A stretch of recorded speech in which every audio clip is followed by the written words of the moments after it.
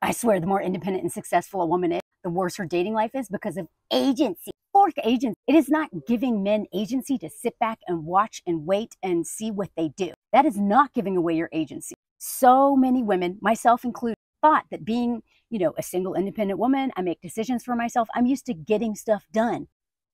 We get stuff done. We're not you and, and, and now, especially those of us who are just so used to taking care of ourselves and have never had a man take care of us in our lives. It's weird to just sit back and relax and not be the person who is doing the things. And that was the hardest thing for me to unlearn when I started dating in a serious way and in a healthy way was to stop being the boss, stop making things happen, stop, you know, you know, come on, yeah. That's not, that's not helpful. That's not going to work. In fact, you are going to end up with a hobosexual, a man who's going to exploit you or knock you down a peg.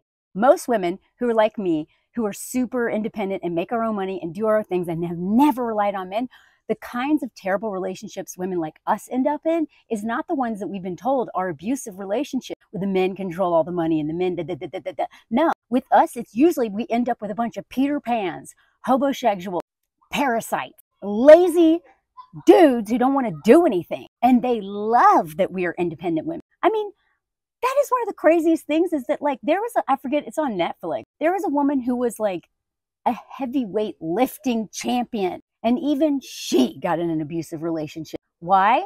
Because a lot of times the stronger, the more independent, the more self-reliant we are, the less we expect of men and the less we make them do stuff that they need to be doing. And here's the thing. I, am never going to give men control of anything. But when you approach dating like the boss bitch that you are, you're going to get played if you're the one who's just like, let's get this done, come on, what do you want? Nah, you will get played because I'm sorry, I don't want to be, I don't want to play follow the leader. I don't want to follow anybody and I don't want to be the leader either. I want a partner.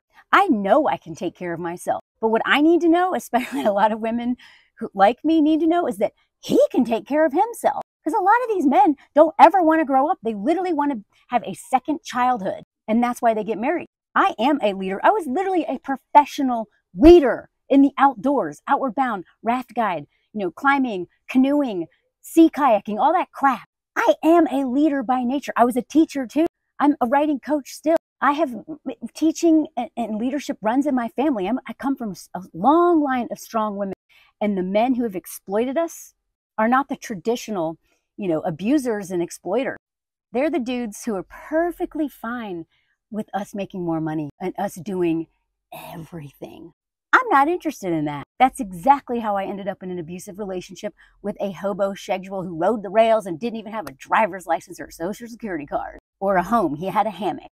And so women like us have to sit back and be patient. I, I realize I'm not doing anything. I'm letting them do everything. I will match their energy, but I'm not, I am not leading this relationship. And if he is not interested and doesn't seem eager to be hanging out with me, then a bye bye. Agency is not me chasing after a dude who is not interested. That's not agency. That's desperation. It is not giving them all the power by letting them decide how often they contact me. It is me making the decision that if you don't contact me enough, you don't get access to me. And if you do contact me enough, I then still get to decide whether or not I want to hang out with you. I still have all the agency, but I'm not chasing anymore. That's why I hated Bumble. I'm not sending the first message. You send the first message. I'm the one with actually more options here.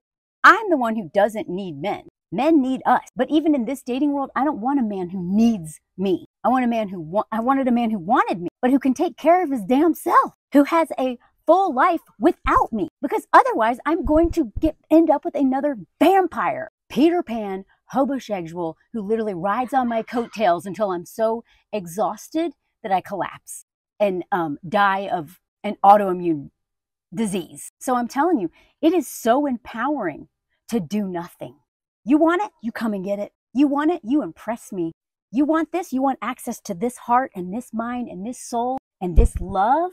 You actually have to do something because you're not entitled to this. And I've got like a hundred messages in Tinder and all these things. I mean, most of them are crap and I would never spend time with them. I can get laid anytime I want. And my life is so full and so amazing. And I love being with myself and my friends. And I love doing writing and being creative. I love my life so much that if you are competing with how much I love my life. So, yeah, I will sit back here and relax and go to dance class and go write and go hang out with my friends and go travel and do all this amazing stuff. And it's not me waiting for him to call, it's me living my best life. And if this dude wants access to that life, if he ever wants a shot at sharing that life with me, he better get busy and show me that he wants it and show me that he has his own life. Because again, I'm not, I'm not interested in a Ken who is dead inside and doesn't know himself and if given just a little bit of power will literally ruin my whole world. Not interested in that. And I think most of us are actually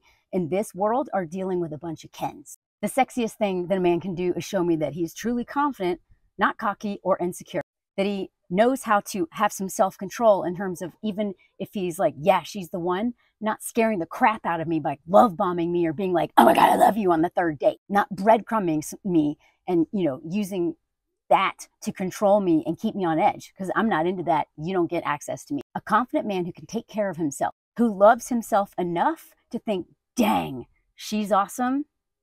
I want to be a part of that. I want to add to her life. Her and I will do great things together, right? Because what I did not want, which is what most, I, I'm telling you, and feel free to share in the comments, most super independent women who have their own money and who have never had a man take care of them, our biggest problem is lazy, entitled men who don't want to do anything and are perfectly fine letting us kill ourselves trying to do everything. And haven't we seen by now that's not working out too well for us? The least this man can do is make it clear that he's interested in me without also scaring the crap out of me. And if he doesn't know that that balance yet, then he's probably not ready to date or isn't mature enough. I'm telling y'all, match their energy, but stop being the person to initiate stuff. It doesn't work out for you. And it shows that you are desperate. And desperate women get exploited because we got a whole system of patriarchy that's still in, in operation to make sure that we don't have the power and the money and all of the laws on our side. And until we do, I ain't doing shit. Make them do it. And you got to eat my if you want access to this.